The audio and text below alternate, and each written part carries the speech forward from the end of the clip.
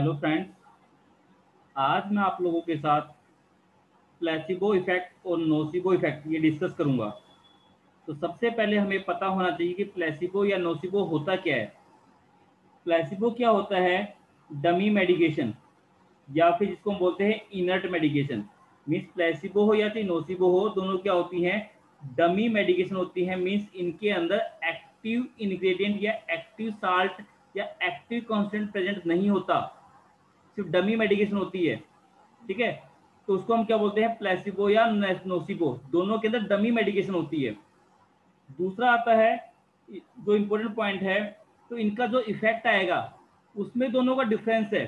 एक में क्या होगा, जब हम प्लेसिबो यूज़ करते हैं तो डमी मेडिकेशन जब यूज़ करते हैं तो पॉजिटिव इफ़ेक्ट आता है। जबकि नोसिबो जब हम यूज़ करते हैं तो नेगेटिव इफ़ेक्ट आता है।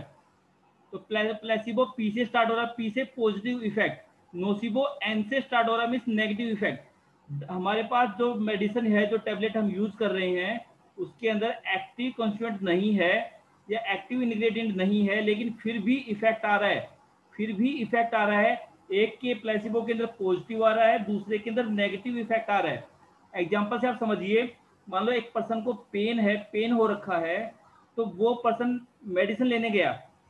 तो मेडिसिन लेने गया तो वो पेन को कम करने के लिए लेने लेने गया। तो डॉक्टर ने क्या काम किया? उसको डमी मेडिकेशन दे दिया, जिसके अंदर पेन को कम करने वाली दवाई थी ही नहीं। तो जो इफ़ेक्ट आया उस पर्सन के अंदर डमी मेडिकेशन दी, फिर भी उसके अंदर पेन कम हो गया। पर्सन को पेन था डमी मेडिकेशन दी प्लेसिबो दी पेन कम हो गया। मीन्स उसके अंदर पर्सन के अंदर क्या आया? एनालजेसिक इफ़ेक्ट लेकिन दूसरे पर्सन के अंदर क्या हुआ? डमी मेडिकेशन यूज़ की लेकिन पेन इंक्रीज हो गया पेन बढ़ गया। मीन्स ड्रग ने हाइपर एल्जीसिया कोज किया। डमी मेडिकेशन ने पेन को बढ़ा दिया। तो ये इफ़ेक्ट आया कैसे?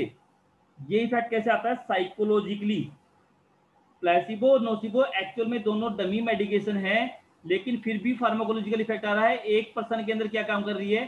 पेन को कम कर रही है, एक के अंदर पेन को बढ़ा रही है। एक के अंदर पॉजिटिव इफ़ेक्ट आ रहा है, एक के अंदर नेगेटिव इफ़ेक्ट आ रहा है। तो किसकी वजह से आ रहा है? वो साइकोलॉजिकली तो साइकोलॉजिकली क्या होगा कि ये डिपेंड करेगा जो पेशेंट है, जो पर्सन है, उसका एटीट्यूड अगर जो पेशेंट है, उसका डॉक्टर के लिए या ड्रग्स के लिए पॉजिटिव एटीट्यूड है, अगर वो पर्सन सोचता है कि मैं डॉक्टर के पास अगर जाऊँगा तो मैं ठीक हो जाऊँगा, या मैं दवाई लूँगा तो मैं ठीक हो जाऊँगा तो पर्सन का पॉजिटिव एटीट्यूड है। तो वहाँ से पॉजिटिव इफ़ेक्ट आता है, जिसकी वजह से पर्सन का पेन कम हुआ एनालिसिस इफ़ेक्ट आया। नोसिबो में नोसिबो में क्या हुआ? पर्सन का नेगेटिव एटीट्यूड है। नेगेटिव एटीट्यूड क्या है कि अगर मैं डॉक्टर के पास जाऊँगा या मेडिसिन लूँगा तो मेरी तबीयत और ज़्यादा खराब हो जाएगी। तो मीन्स ये साइकोलॉजिकली काम कर रहा है। तो साइकोलॉजिकली मीन्स प्लेसिबो में पॉजिटिव इफ़ेक्ट आ रहा है मीन्स डमी मेडिकेशन है वो पेन को कम कर रही है। जबकि नोसिबो में क्या हो रहा है कि डमी मेडिकेशन है, लेकिन वो पेन को बढ़ा रही है। ठीक है? तो इसको आप समझिए। तो जब हम प्लेसिबो यूज़ करते हैं, उसकी वजह से हमारी बॉडी के अंदर कुछ फिजियोलॉजिकल चेंजेस भी होते हैं।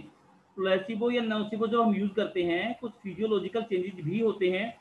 वो फिजियोलॉजिकल चेंजेस क्या क्या हैं? कि ये ड्रग है, जो डमी मेडिकेशन है, वो प्लेसिबो इफ़ेक्ट जब कोज करेगी तो उस पर्सन के अंदर जिस पर्सन के अंदर पॉजिटिव एटीट्यूड है, उसके अंदर एंडोरफिन के रिलीज़ को बढ़ाती है, जो फील गुड के लिए रिस्पॉन्सिबल है, जिसकी वजह से पेन कम होता है। तो मेन जिस पर्सन के अंदर पॉजिटिव एटीट्यूड है, उसके अंदर क्या काम करेंगी ये? एंडोरफिन के रिलीज़ को बढ़ाएँगी, जिसकी वजह से एंडोरफिन क्या काम करते हैं? वो पेन को कम करते हैं। पॉजिटिव एटीट्यूड की वजह से पर्सन का पॉजिटिव एटीट्यूड था, जिसकी वजह से एंडोरफिन रिलीज़ हुए डमी मेडिकेशन की वजह से, और उसने पेन को कम कर दिया। जबकि नोसिबो में उल्टा हुआ, उसमें क्या हुआ? पर्सन का नेगेटिव एटीट्यूड था तो उसने क्या काम किया? नेगेटिव थिंकिंग की वजह से पर्सन के अंदर कोलिसिस्टोकैनिन रिलीज़ हुआ। कोलिसिस्टोकैनिन और कोलिसिस्टोकैनिन क्या काम करता है? वो पेन को बढ़ा देता है। पेन को बढ़ा देता है। तो ये क्या, इसकी वजह से क्या हुआ? हाइपर एल्जिशिया पेन और ज़्यादा बढ़ जाता है।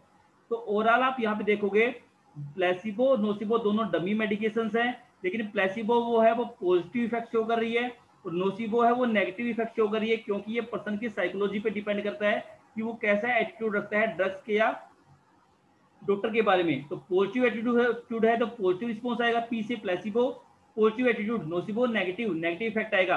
और अगर आपसे कोई पूछे, क्या डमी मेडिकेशन पर्सन के अंदर फिजियोलॉजिकल चेंजेस लेके आती है? हाँ यस फिजियोलॉजिकल चेंजेस लेके आती हैं। प्लेसिबो है वो एंडोर्फिन रिलीज़ करवाता है, जबकि नोसिबो है वो कोलिसिस्टोकाइनिन है वो रिलीज़ करवाती है। तो ये था हमारा topic placebo effect versus nocebo effect thank you